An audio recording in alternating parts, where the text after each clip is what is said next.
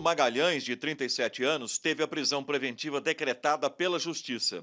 Exames periciais confirmaram que ele teria violentado e matado a menina Amélia Vitória, de 14 anos.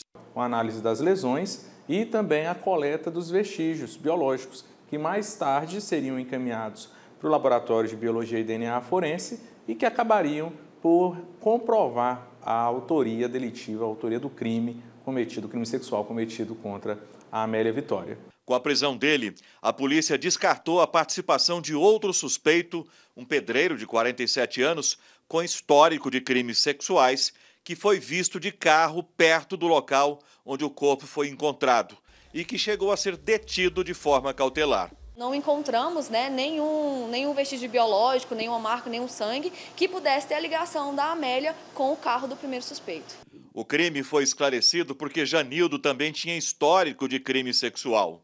Em 2017, ele estuprou uma outra adolescente no interior de Goiás e estava respondendo em liberdade pelo caso.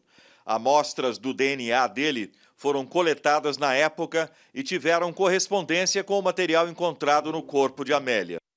Todo esse material foi trazido para cá, para Goiânia, no domingo e na segunda-feira de manhã já tinha o resultado, né, excluindo o primeiro suspeito e é, coincidindo com o, o, suspeito no banco de dados também, dando um, um match, né, que é chamado a coincidência, né, com um, um outro caso de estupro de Rio Verde, de 2017, e com isso conseguiu vincular esses dois casos e é, trazer um, um, outro suspeito, né, que posteriormente foi confirmado como o agressor dessas duas vítimas. Né. Imagens de circuito de segurança mostram Janildo transportando Amélia numa bicicleta pelas ruas de Aparecida. Desde que o banco de perfil genético foi criado em Goiás, mais de 600 casos de estupro e homicídio foram resolvidos pela polícia.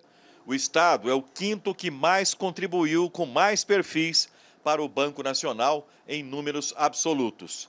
Quanto maior for a base de dados, maior a chance do teste de DNA identificar o autor do crime. O banco de perfis genéticos é uma ferramenta que quanto maior ela for, mais elucidativa ela vai ser. Então, conforme o nosso banco vai crescendo no decorrer dos anos, desde 2015, ele vai dando mais respostas. Né? Então, a taxa de sucesso de você colocar um perfil e identificar uma autoria, ela vai crescendo ao longo dos anos.